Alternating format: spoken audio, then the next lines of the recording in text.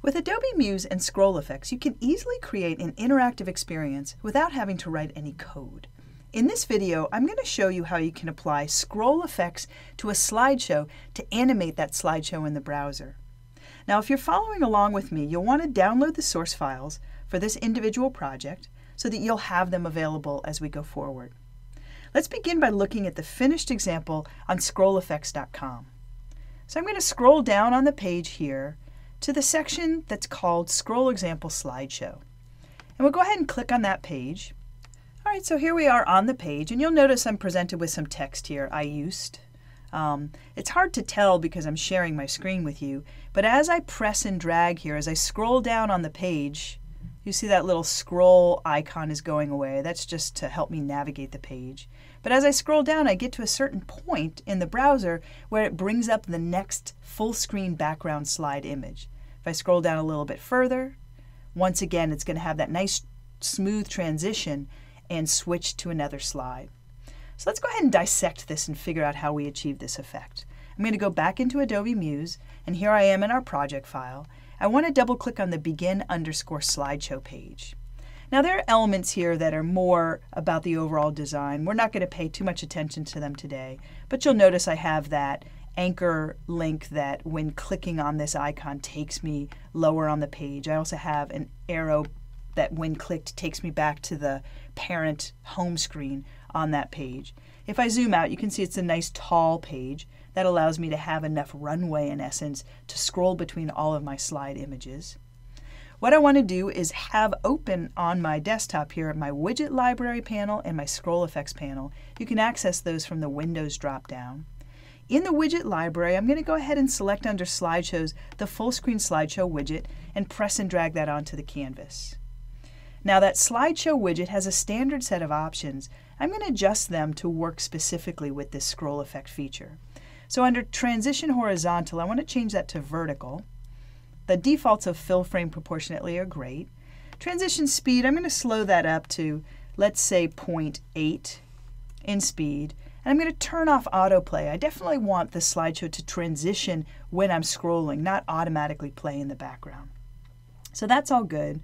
Um, by default, the previous, next, and counter buttons are turned on. I'm going to go ahead and turn those off. And then the last thing I want to do is come in and add my own images. So in the Add Images area here, I'll click on the folder, and I have a series of images that were created in Adobe Illustrator and saved out as a JPEG file. So they're a flattened image from Illustrator. And they're what we're going to use today. You can use a wide variety of slideshow content. You can even take video content, and if you trim it down to less frames, um, you can import that slideshow, and as you scroll through a uh, website, you would see that background video almost quote unquote play by way of the slideshow feature. So I'll come in and I'm going to shift select 1 through 6 here, click open, and actually place those in the background area. Now, if I don't like the order in which those slides have appeared, I can always turn on the thumbnail view of the slideshow, and that lets me see exactly what that sequence is. Let's go ahead and take a look here. If I zoom on in, I've got the first slide being I used to think. So I'm just kind of clicking through these thumbnails and confirming that the sequence of the slideshow is correct. It looks good to me, so I'm going to go ahead and zoom back out again. And let's go ahead and turn off those thumbnails because we don't need them for the finished version. Now the next thing I want to do is go ahead and take this content and send it to the back. That way those navigation elements that I do have available will be there for me. Let's make sure that worked. Yep, we should be good. All right, let's go ahead and see what we've got so far in the browser.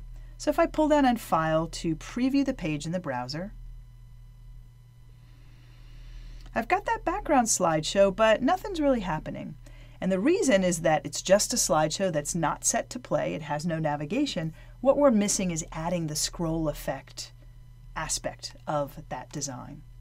So with this object still selected on the canvas, I'm going to now come to the scroll effects panel and what I want to do is instead of clicking on motion or opacity, I'm going to go to the third field, and that's the slideshow field. And I'm going to click to enable the slideshow. Now I can choose that at a certain point in the progression of the browser, that slideshow automatically begins to play. Um, in this case, I want it to go ahead and switch sides every, let's say, um, 50 pixels is probably going to do it for me. So I now have that set to automatically happen as I progress down the page in conjunction with the scrolling. So I'll pull down on File to preview that page in the browser again. All right, so here we are on the page with the scroll effect applied to the slideshow. And you'll notice as I scroll down on the page, it's kind of hard when you're not the one doing the scrolling to see this, but as I scroll down on the page, it's transitioning to the next instance. Now the truth is, I only did it at 50 pixel increments. That's a little too tight for what I'm doing, so let's loosen that out. Let's set it to more like 500 pixels so that we have a little bit more scroll time between pages. I'll once again preview in the browser, and let's see if we can get back up to the top. Okay, so starting at the beginning, we've got I used.